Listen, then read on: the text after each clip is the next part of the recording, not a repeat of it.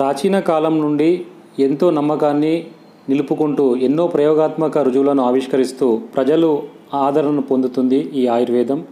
అలాంటి ప్రకృతి ప్రసాదించిన ఒక దివ్యమైన వనమూలిక తెల్లగర్జేరు సంస్కృతంలో దీన్ని పునర్నవ శోభాగ్ని అని అంటారు. అయితే దీని యొక్క శాస్త్రీయ నామం బోర్హావియా డిఫ్యూజా. అయితే తెల్ల గర్జేరు కానీ ఎర్ర గర్జేరు కానీ నల్ల గర్జేరు కానీ మూడు రకాలుగా ఇది దొరుకుతుంది.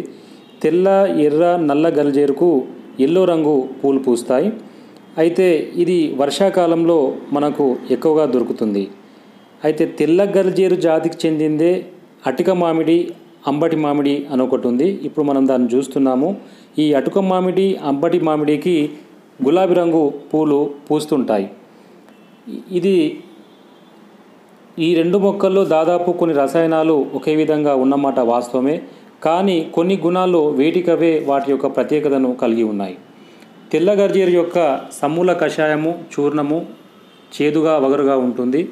ఇది లివరు లంగ్స్ పుండు అవడాన్ని అధిక మద్యపానం వలన కలిగే అనేక అనేక రుగ్మతలను లివరు వాపును లివరు కృషించిపోవడాన్ని పూర్తిగా తగ్గిస్తుంది. ఆకలిని పుట్టిస్తుంది. శరీరంలో పూరుకుపోయిన సమస్త మలినాలను దుష్ట జలాలను బయటకు పంపించి వేస్తుంది. విరేచనాన్ని సాపిగా ఉంచుతుంది. తద్వారా మూలవ్యాధిని పూర్తిగా పోగొడుతుంది. మరియు వాతాన్ని దగ్గుని దమ్ముని కూడా తగ్గిస్తుంది. మూత్రపిండాలను శుభ్రపరుస్తుంది. మూత్రపిండాలు అంటే కిడ్నీల పనితనాన్ని పూర్తిగా మెరుగుపరుస్తుంది. క్షీణ దశలో ఉన్న కిడ్నీలను సైతం పై మూలిక క్రమం తప్పకుండా వాడితే కిడ్నీలు పూర్తిగా కోలుకుంటాయి. యూరిక్ యాసిడ్ను తగ్గిస్తుంది. క్రియాటిన్ను కూడా సామాన్య స్థితికి తీసుకువస్తుంది. వీటి వేళ్ళను పాల యొక్క ఆవిరి మీద కొద్దిసేపు ఉంచితే అవి శుభ్రపడతాయి.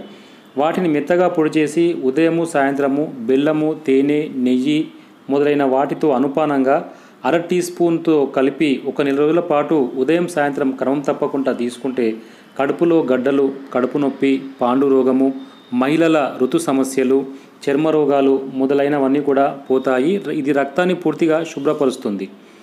దీని వేరు ఆవునేతితో అరగదీసి కండ్లకు పెట్టిన కంట్లో పువ్వులు పోతాయి. తేనెతో అరగదీసి కండ్లకు పెట్టిన కంటి ఎరుపులు నీరుగారట కండ్ల మంటలు మొదలైన సమస్యలన్నీ పోతాయి. దీని ఆకును నువ్వుల నూనెలో వెచ్చజేసి కట్టిన వృషణంలో వృషణాల యొక్క వాపును అరించివేస్తుంది దీని ఆకులు నూరి కట్టిన కంతులు గడ్డలు పుండ్లు గజ్జి దురద తగ్గిపోతాయి. ఒక పావు కిలో ఆకును మెత్తగా దంచి కిలో నువ్వుల నూనెలో వేసి సన్నని మంటపైన వేడి చేస్తూ నీటి బుడగలు పోయే వరకు ఉడికించిన చల్లారిన తర్వాత పైపూతకు ఆ నూనెను వాడవచ్చు. ఈ తెల్ల గలిజేరు రసము రెండు మొదలు నాలుగు చెంచాల వరకు సమూల కషాయము మూడు మొదలు ఆరు చెంచాల వరకు చూర్ణం మొత్త మోతాదు అర చెంచా నుండి ఒక చెంచా వరకు తేనె కానీ బెల్లం కానీ లేదా చక్కెరతో సమానంగా కలిపి తీసుకోవచ్చు. ఇది రోజుకు రెండు పూటల తీసుకోవాల్సిన అవసరం ఉంది. అప్పట్లో మన పెద్దలు ఏం చెప్పేవా చెప్పేవారంటే ఏ కాలంలో దొరుకుతాయో పూలుగా పండ్లు కానీ కూరగాయలు కానీ ఆ కాలంలో దొరికే ఆయా పండ్లను కూరగాయలను ఎక్కువ వరకు వాడితే అనేక ఆరోగ్య సమస్యల నుండి మనము దూరం అవ్వచ్చని చెప్పారు. ఈ యొక్క వర్షాకాలంలో ఈ యొక్క తెల్ల గర్జేరు మనకు గ్రామీణ వాతావరణంలో పొలం గట్లపైన ఖాళీ ప్రదేశాల్లో దొరుకుతుంది. నగర వాతావరణంలో గార్డెన్స్ కానీ ఖాళీ ప్రదేశాల్లో దొరుకుతుంది. ఎంతో విరివిగా చౌకగా ఎక్కడ పడితే అక్కడ లభించే ఒక ఈ యొక్క తెల్ల గర్జేరును మనం ప్రతినిత్యం వాడవలసిన అవసరం ఉంది.